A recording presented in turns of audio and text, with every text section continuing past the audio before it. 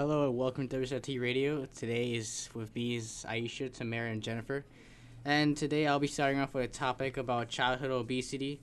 Uh, a new government report and five evidence of a national decline in childhood obesity, health officials said Tuesday. And 18 states there were at least slight declines of obesity for low income preschoolers. Previously, national statistics now obesity rates have been raising for decades and recently were essentially flat although some places have reported environment environmentals like Philadelphia and New York City and the state of Mississippi, but no report from the central of, of decease and central contention show signs of waiter um, ranging environment.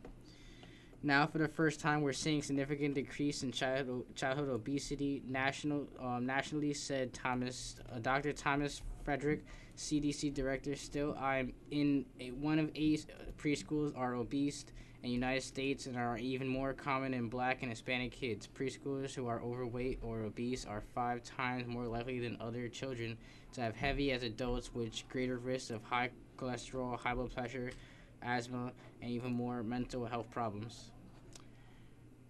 I don't know. That's all I got. Aisha's next. Wait, so You you're have to have a saying it's discussion, it's just- you're saying it's less common now, or it's It's less common, but in for 18 kids to be obese now? I'm Yeah, surprised about that. because in New York and other 18 states, they have changed uh, eating habits Yeah, and know in New putting York healthy stuff in Yeah.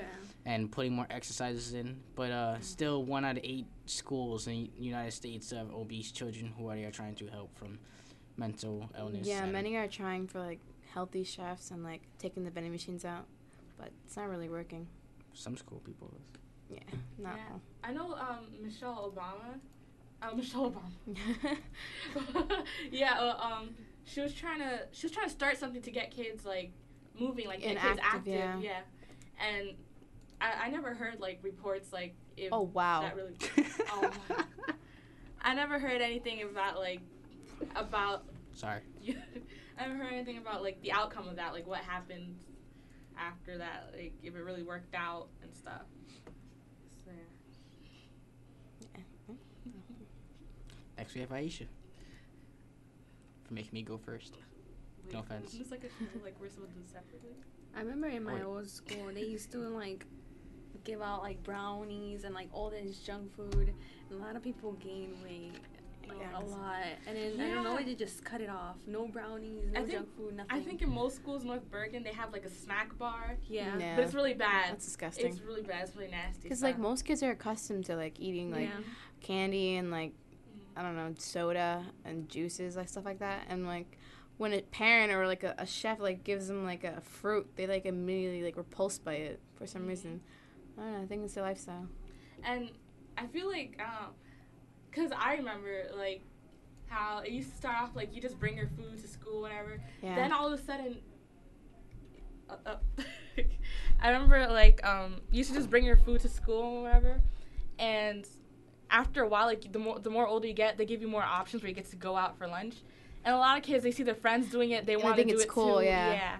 but it's like it's not cool when you Mhm. have heart disease in the side. So Yeah.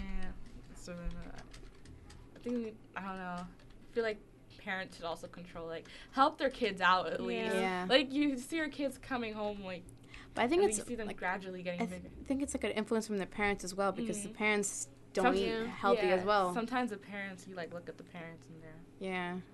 I used to be really, like, really, really chubby in like middle school. Really? you have I was, uh, yeah. no, not on me, but uh, I do have pictures when I was really chubby. Was it just like baby fat and just went away, or? No, it was fat. Oh wow. you, you lost it by like eating healthy?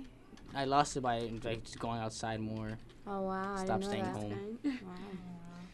and now my mom wishes I was fat again because now I don't stay home a lot. Oh, yeah.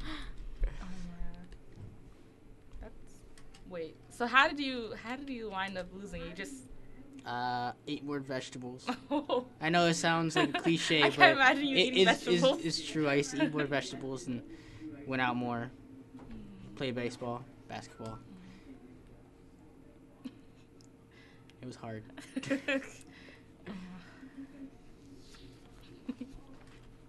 Now it's Aisha's turn again. So- we just like mine is more serious. So. All right, should I put on someone else? Or now it's Jennifer's turn. It's- Okay, my topic will be the allowing phones. What? No, I'm not sure. So, um, do you have any facts on on like the statistics of like like each state or like country? Uh, California was worst at nearly 17% child Really? obesity. Uh, I would not think that because they're they like have so a lot like, to do. Like because they're like so could do- active and yeah. surfing and Uh, one of the remaining 40 states, 18 showed uh, the least slight of an in- improvement. Uh, 19, no significant change. Colorado, Pennsylvania, and Tennessee increased. Uh, from 2003 to 2010, significant decl- um, decrease in preschool obesity were seen in, uh, in only nine states, and increase were seen in 24 states. That's about it. That's all I got. Let me see. I don't know. You seem to have a lot of information there. yeah, Come on you now. have yeah.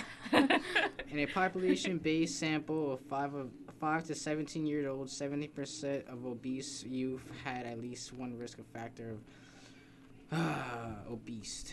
Yes, yes. I don't know. I blame the internet. Are most of these statistics kids who are from genetics? Yeah, mostly black and Hispanic. No, no, no. Like, is it from Oh. their family, like the genes, I or don't is it just I never. it comes from like the way they're eating lifestyle? Yeah, eating lifestyle. Okay. wow. You- You- Eating I, don't, I don't know if you guys heard of the um the kid named Terrio. No. The the, I the ooh have. kill him. Yeah. Oh yeah, him. he's like he's like really big, but he's getting bigger. Really? He's getting big. You could tell, and they're putting him in tight clothes. Like he's actually getting like a like a little like media attention now. So he Mhm. has money now, and he's like getting bigger and bigger, and it's scary. It's like I feel like his parents are doing it on purpose because it's funny. How Like, old is he? Um, I forgot. I think he was like six or five. Are you serious? That's he's huge, It's like, dangerous. Yeah, and we like everyone's coming up with these theories that their parents are like, his parents are really like stuffing like food on him. Like it's terrible. it's really bad. And there's this um there's this vine, and it's of him and his father. His father's kind of big too, so Mhm. maybe it's the genetics thing. But like, it seems like he's like this is, this is really weird. He's like rubbing his stomach, but he's like laughing. Like it's funny. It's like your child's yeah, big. that's a problem. Like Yeah. it's not a joke. It's not. Yeah. It's not a workout.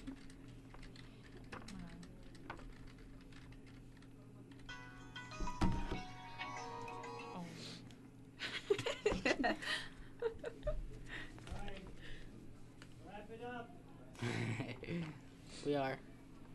Let's wrap it up, guys. Okay. So no one else has to go? Just me? Separate shows. Wow. Messed up. so, this is WHIT Radio. Once again, I have Aisha, Tamara, and Jennifer, and me as the host. And goodbye, America.